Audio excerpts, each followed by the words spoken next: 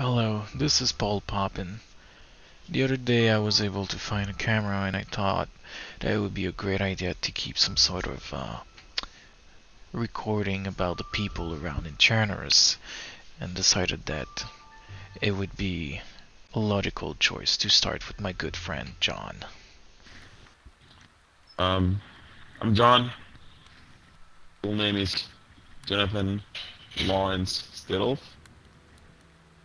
I was born in Georgia and I'm enlisted in the U.S. Marine Corps. Um, I was there for almost 20 years, 41 years old. I was in here, Chernarus, on a relief mission with um, providing security security for the um, NATO relief efforts. And um, our helicopter was shut down as we were approaching the the location. Uh, I was the only survivor in that heli crash. Um, all hands were lost. I made my way uh, to Novi um, after about two weeks. Lost. Yeah, about two weeks to get to Novi. Um, there, I I heard the rumors of a really nice person that used to live in Pavlovo. Um, she was probably you guys probably know her. She was known as Baba, lady. So I decided to go meet her. Um, I make my way all the way to Pavlovo by foot. And upon arriving there, I couldn't find anybody. So I did what I always do. I searched the houses and, you know, look for provisions, food, perhaps a weapon. I had a repeater back then. I managed to to make it into the to the water well where some sets found me locked myself up on a on one of those stands that are by the um by the by the water um well and I started shooting zombies from inside. I was running low on ammo when this crazy old lady with a knife starts just killing them.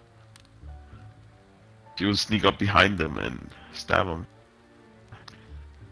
Well, Baba welcomed me into her home. She gave me a a place to live. Built up a door for me right across the street. She fed me. She healed me. She gave me medicine. Um, basically, she set me up. To be honest, gave me proper weapon and everything. We used to travel together.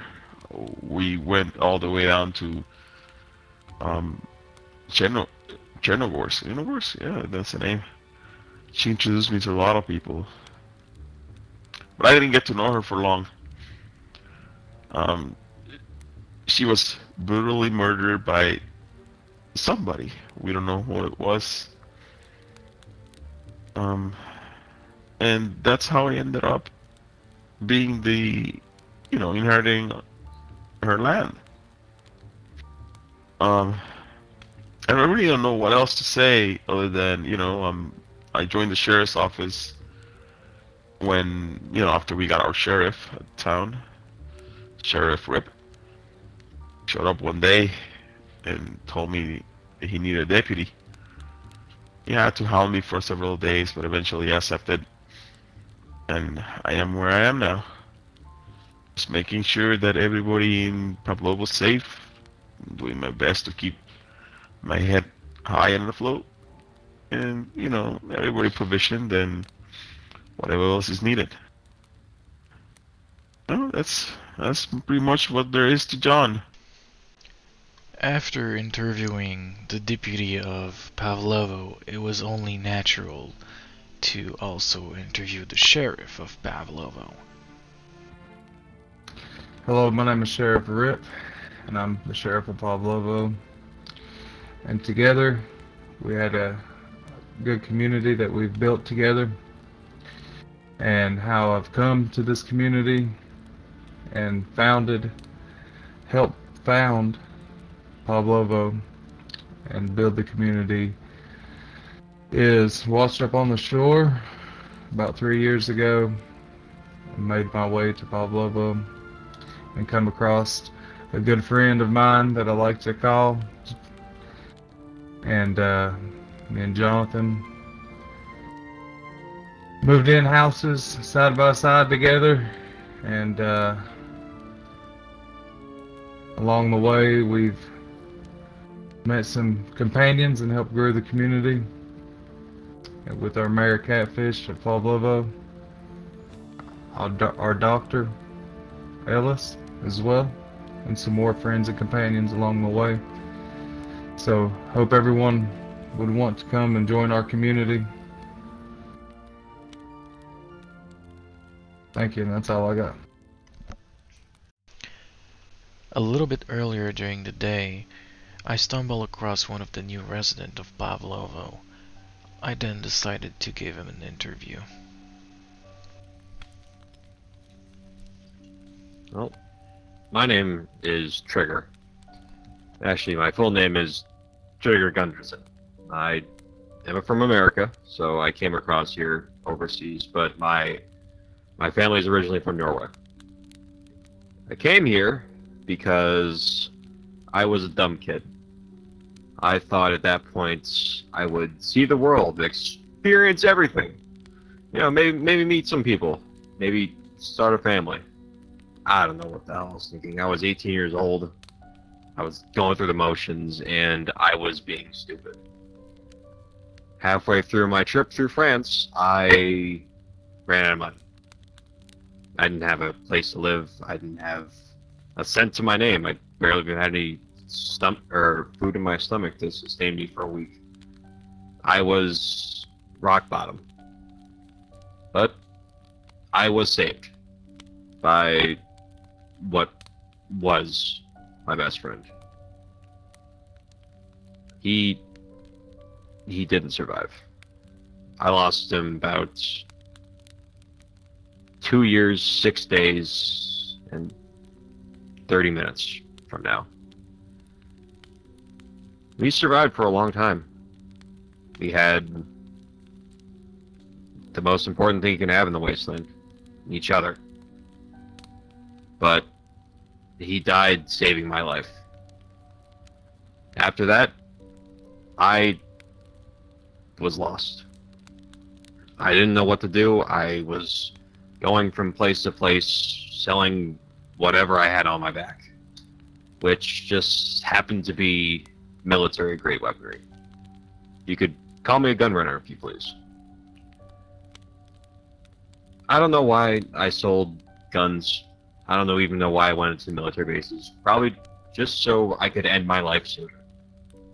Because all I cared about was seeing my best friend again. I don't know. I think I just want to make right by him. He saved my life, so I go through day after day, minute after minute, trying to save another one. Just one more life. That's all it takes.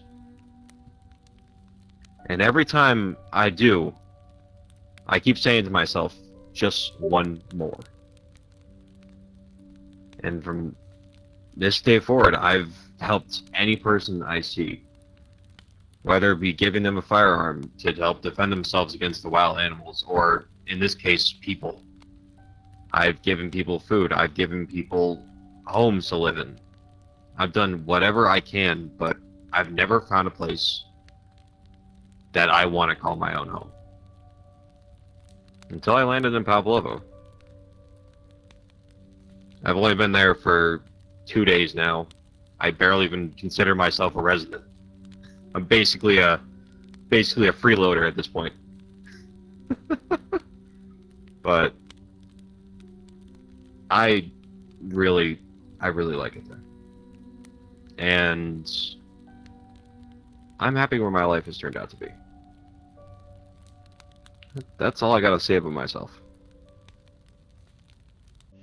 After a long day of traveling and meeting new people, it is now time to go back home. Hopefully, I can find another one of those tapes so I can record more people in the future. Until then, stay safe.